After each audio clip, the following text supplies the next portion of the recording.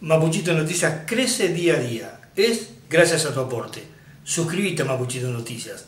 Dale click a la campanita.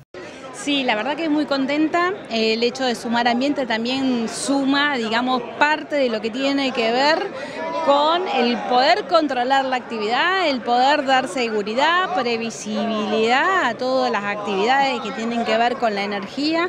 Como dijo el gobernador, es muy importante diversificar la matriz productiva que la provincia tiene y los recursos minerales que tiene la provincia son muy grandes, son muchos y trabajados con, con cuidado en el ambiente, con respeto hacia la tierra, con respeto hacia las personas, eso también nos va a llevar a también poder desarrollar minería en, nuestra querida provincia. ¿Cómo se va a poder focalizar y, desarrollar todo eso en este contexto difícil que vive el país?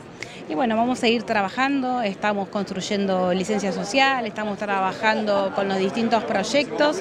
Es un proceso de crecimiento constante y mutuo entre el Estado y la comunidad también. Y el gobernador en su discurso dijo, ¿no? Eh, un Estado presente hacia la sociedad, estar cerca de la gente, ¿no? Sí, sí. Nosotros, este, yo vengo trabajando ya hace varias gestiones y mm, trabajo con, todo lo que tiene que ver con gas envasado, con todo lo que tiene que ver con generación eléctrica en aquellos lugares de la provincia donde no hay generación distribuida. Eso significa que la gente no puede prender la luz y apagarla cuando quiera. Cuando empezamos hace 12 años la gente tenía 4 o 6 horas de luz por día, hoy en algunos lugares tienen hasta 24 horas de luz y nosotros vamos creciendo. Creemos que no hay ciudadanos de primera y de segunda, que poblar la Patagonia y hacer una patriada no significa necesariamente hacer grandes sacrificios, sino que significa hacer sacrificios pero acompañados con un Estado presente.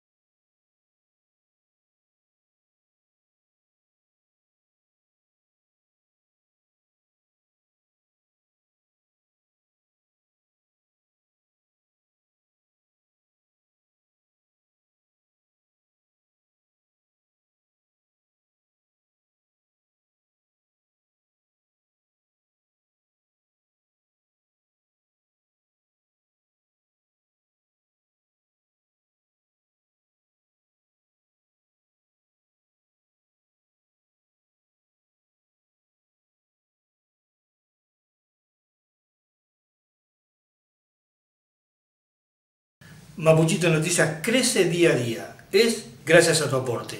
Suscríbete a Mapuchito Noticias. Dale click a la campanita.